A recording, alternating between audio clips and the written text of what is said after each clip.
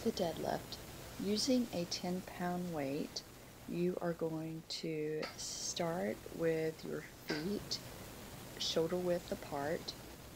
and gently bending your knees just a little bit and letting the weights slide down to about um, shin level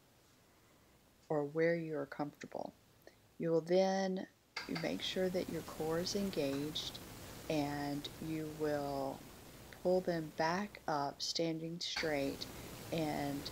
engage your glutes, pause and repeat.